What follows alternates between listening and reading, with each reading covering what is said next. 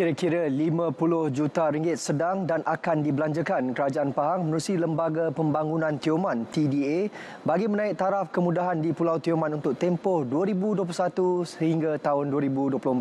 Antara projek yang menjadi keutamaan menambah baik jeti penumpang di beberapa kampung sekitar pulau.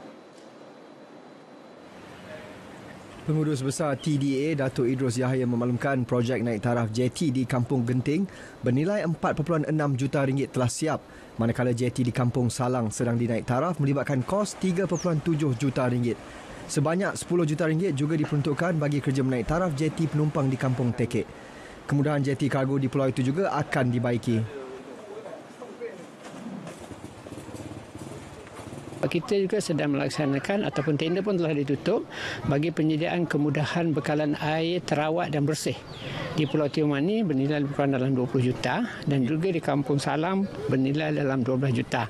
Jadi ini uh, tender dah keluar dah tutup. Jadi insyaAllah kita punya jangkaan juga pada suku tahun pertama atau suku tahun kedua 2023 projek ini dapat dijalankan lah. Manfaat daripada kedua-dua projek itu bagi memastikan penduduk mendapat bekalan air bersih dan terawat selain mengatasi isu gangguan bekalan air.